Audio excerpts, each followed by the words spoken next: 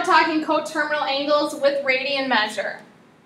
So remember, coterminal angles, two angles that share the same initial and terminal sides. There are numerous coterminal angles out there, but we want to just find one positive and one negative. So multiple answers do exist in this problem. So we want to give you the angle of pi over 4. So I'm going to create that angle first. Here is 0 radians. There's our initial side. And to create that pi over 4, that's halfway between 0 and pi over 2. And this would be my terminal side. And there's my angle theta, let's call this theta 1, of pi over 4. To find a positive angle, I want to add one revolution more around. So if you think of it as adding 360 degrees or add 2 pi. So I'm going to put this in red. I'm going to go around one revolution. Now I'm at 2 pi. And then I'm going to add one more pi over 4. So now I'm at that same terminal side. So this will be called theta 2. So we take pi over 4 plus 2 pi.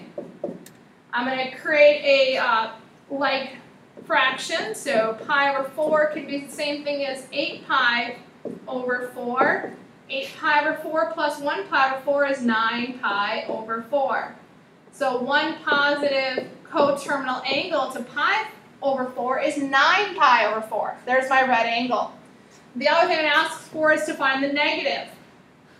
So we'll call this theta 3. So now we want to go in the other direction. We want to start at this initial side, but now we're going to go negatively, and we're going to go around until we get to that terminal side. So here's our initial, and there's our terminal. So what we're going to do now is we're going to subtract. So we're going to go in the negative direction. So we're going to take minus 360 degrees, or in since we're in radian measure, minus 2 pi. So you take your negative 2 pi plus pi over 4, and what does that angle give you? So negative 8 pi over 4 is the same as negative 2 pi. Add a pi over 4, and we're at negative 7 pi over 4.